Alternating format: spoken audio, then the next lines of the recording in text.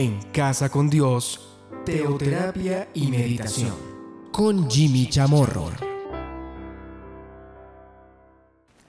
Muy buenos días, bienvenidos a Teoterapia y Meditación, el primer espacio del día en torno a Dios. Seguimos entonces con eh, nuestra serie El Corazón. Segunda Crónicas, capítulo 12, versículo 1. Me dice, todos estos hombres de guerra dispuestos para guerrear vinieron con corazón perfecto a Hebrón para poner a David por rey sobre todo Israel. Asimismo, todos los demás de Israel estaban en un mismo ánimo para poner a David por rey.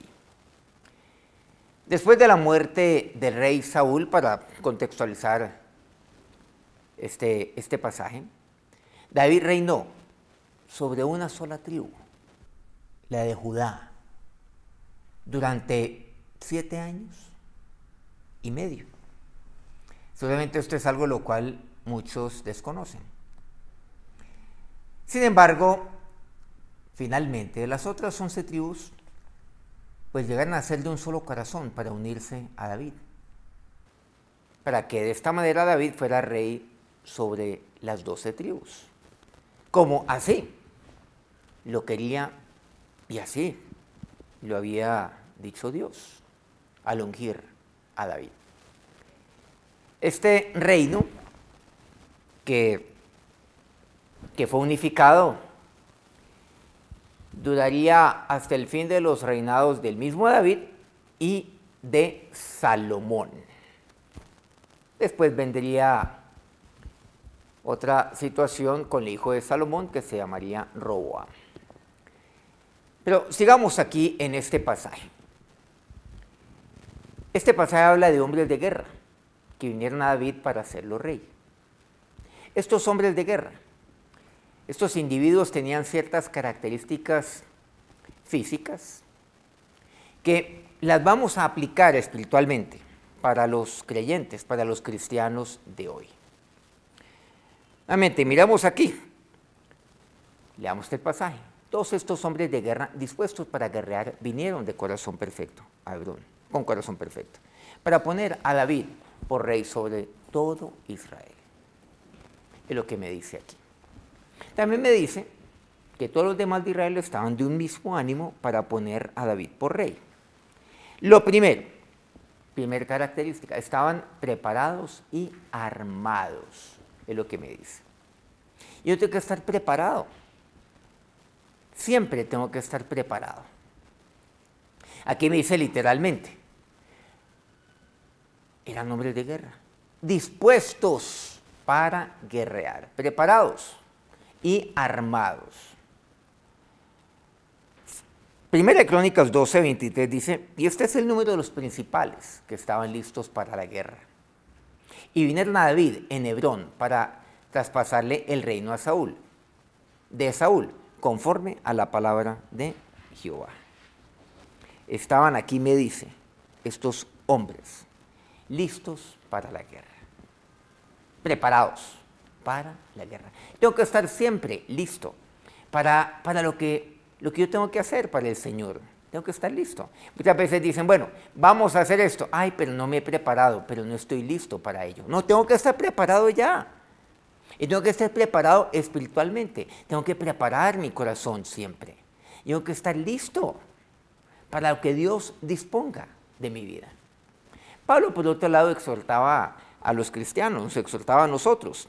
En Efesios 6, 11 al 13, hemos dicho que están preparados y armados. Bueno, ¿armados de qué? Ya aplicándolo espiritualmente. Dice, vestidos de toda la armadura de Dios para que podáis estar firmes contra las acechanzas del diablo. Por tanto, tomad cada uno la armadura de Dios para que podáis resistir en el día malo y habiendo acabado todo, estar firmes. Siempre debo estar vestido de toda la armadura de Dios. Siempre, porque yo no sé cuándo voy a ser eventualmente acechado, como dice aquí el versículo 11, o atacado, como seguramente lo podemos también eh, entender. No lo sé. Entonces estos estaban ahí, preparados, estaban armados, estaban dispuestos. He de serlo, también desde el punto de vista mío, espiritual. En segundo lugar, Estos hombres, de acuerdo a este versículo, tenían comprensión de los tiempos para saber lo que debían hacer. O sea, ellos comprendían cuándo es tiempo de hacer esto, cuándo es tiempo de hacer lo otro, pero no solamente en cuanto al tiempo concierne. Tener comprensión de los tiempos es también del entorno en el cual yo me encuentro. Por ejemplo, estos son tiempos difíciles, decimos. No estamos refiriendo necesariamente pues, a, a un reloj, sino a lo que estamos viviendo alrededor en esta época. Dice 1 Crónicas 12, 32, de los hijos de Isaacar, 200 principales, entendidos en los tiempos, y que sabían lo que Israel debía hacer, cuyo dicho seguían todos sus hermanos. Los hijos de Isaacar, me dice aquí este pasaje, ¿quiénes eran estos? Aquí estamos en 1 Crónicas 12. Nuestro fundamento es el versículo 1, en Museo del 23 en el primer punto. Ahora vamos al versículo 32, que fue el que acabamos de leer. Entendidos, comprendían los tiempos. Yo de entender, entender también, ser entendido en las cosas que están ocurriendo alrededor mío. Es entender, por ejemplo, que estamos, en este caso en Colombia, pasando por momentos sensibles. Es entenderlo en este instante. Por otro lado, el entendimiento del mundo está oscurecido. Efesios 4, 18 dice, teniendo el entendimiento entenebrecido, ajenos de la vida de Dios, por la ignorancia que en ellos hay, por la dureza de su corazón. Sin embargo, en el mundo que vemos, tinieblas, porque el entendimiento está entenebrecido. No se entiende lo que está pasando. Nadie lo entiende. ¿Pero por qué?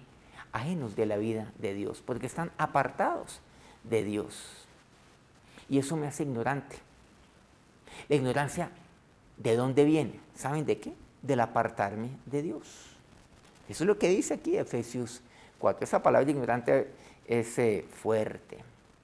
Pero, ¿por qué ocurre eso? Por la dureza de mi corazón. Cuando usted endurece su corazón, pues está cayendo en ignorancia. ¿Por qué? Porque es apartado. Miren qué interesante este término, de la vida de Dios. Interesante, de la vida de su Señor. Pero el entendimiento del cristiano siempre debe ser iluminado. Efesios 1.18 dice, alumbrando los ojos de vuestro entendimiento, para que sepáis cuál es la esperanza a que Él os ha llamado y cuáles las riquezas de su gloria, de su herencia en los santos. Entonces, a través de la guía que usted y yo tenemos del Espíritu Santo, nuestro Señor podrá, y Él, o mejor, obrará en nuestra vida.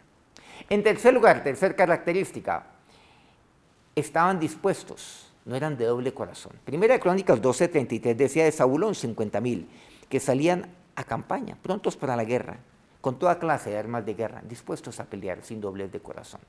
Santiago menciona en eh, el capítulo 1, versículo 8 de su libro, dice, el hombre de doble ánimo es inconstante en todos sus caminos.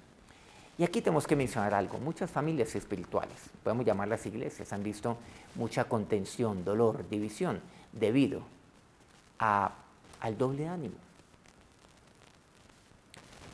de algunas personas. La amonestación de Pablo con respecto a este, a este problema es el de Filipenses 2, 2 y 3. Dice, completad mi gozo sintiendo lo mismo, teniendo el mismo amor unánime, sintiendo una misma cosa.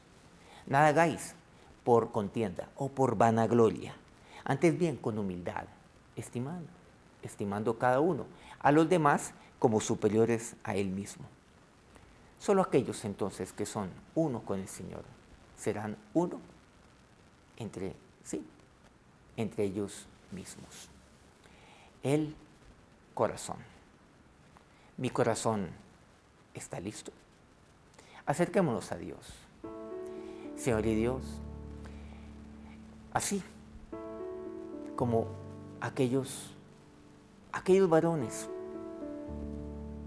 de aquellas tribus. Dios, Señor, tenían,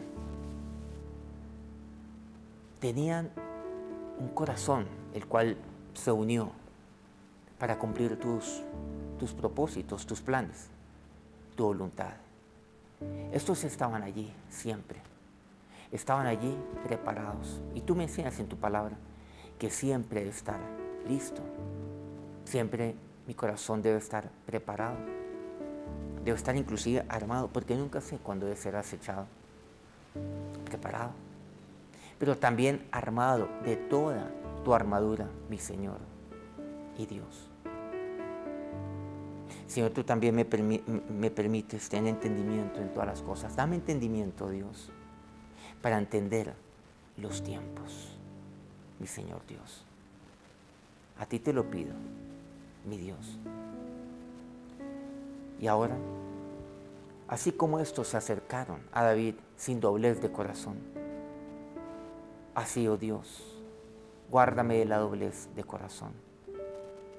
Y por eso, Señor,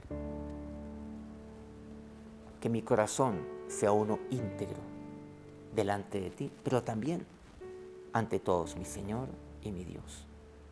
Ahora que tu bendición sea sobre todos estos tus siervos en este día. Amén. Muchas gracias a, todos aquellos que nos acompañan transmitiendo este programa todos los días a Colmundo Radio aquí en Colombia por medio de sus diferentes estaciones.